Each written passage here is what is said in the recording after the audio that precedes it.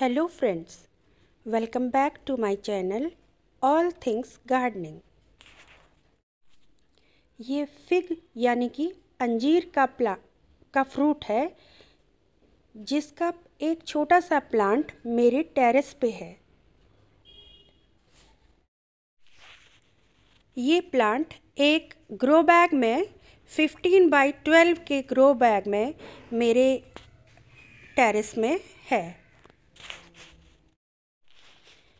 ये करीब डेढ़ दो साल पुराना प्लांट है। इसमें थ्रो आउट ईयर फ्रूटिंग होती रहती है। समर है विंटर है रेनी सीज़न है स्प्रिंग है, कोई भी सीज़न इसमें फ्रूट्स हमेशा रहते हैं। मुझे इस प्लांट के बारे में लगाने से पहले ज़्यादा मालूम नहीं था, लेकिन लगाने के बाद मैंने देखा कि इसमें थ्रो आउट ईयर फ्रूटिंग होती रहती है। कभी ज़्यादा, कभी कम। और ये बहुत बड़ा प्लांट नहीं है। आप देखिए, इसमें ये मेन ब्रांच है इसकी और इसके अलावा इसकी एक ब्रांच और नीचे से डेवलप हो रही है। आपको दिख रही है ये नीचे दूसरी ब्रांच भी, उसमें भी फ्रूट आ रहे हैं। इसमें बहुत ब्रांचेस नहीं आई। मैंने इसकी मेन ब्रांच को कट किया था, लेकिन उसमें भी बहुत सारे ब्रांचेस डेवलप नहीं हुई। इसका फ्रूट जो है राइप होने के बाद आप देखिए इसका कलर इतना डार्क हो जाता है। लेकिन ये इतना स्वीट होता है कि राइप अगर ये पेड़ पे हो गया तो इसमें इस तरह से चीटियाँ इसमें चली जाती हैं।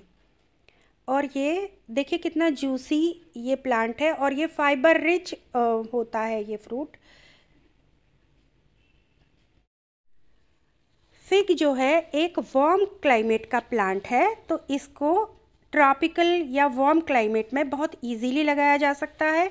इसको वेल ड्रेनिंग सॉइल चाहिए, नहीं तो इसमें रूट्स में प्रॉब्लम स्टार्ट हो सकती हैं। अगर वाटर होल्ड करेगी सॉइल तो वेल ड्रेनिंग सॉइल बनाने के लिए इसमें थोड़ा कोकोपीट और थोड़ा सैंड इसमें मिक्स करना चाहिए और इसको सनी लोकेशन में रखना पड़ता है, जिससे कि इसकी फ्रूटिंग हो और फ्रूट फ्रूट तैयार भी हो जाए।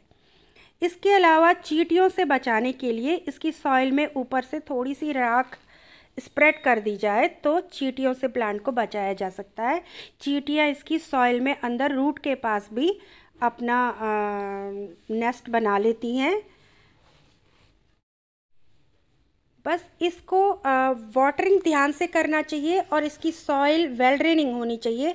इसके अलावा इसको बहुत ज़्यादा देखभाल की ज़रूरत नहीं है। इसका फिग का या अंजीर का प्रपोगेशन कटिंग से भी किया जा सकता है। मैंने तो ये नर्सरी से प्लांट बाय किया था और ये ग्राफ्टेड प्लांट ही ख़रीदना चाहिए। मेरा प्लांट ग्राफ्टेड है।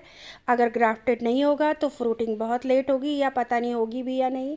इसलिए ग्राफ्टेड प्लांट ही लगाना चाहिए। अगर आपको मेरे वीडियो पसंद आया है तो इसे लाइक सब्सक्राइब और शेयर कर लीजिए। Happy gardening.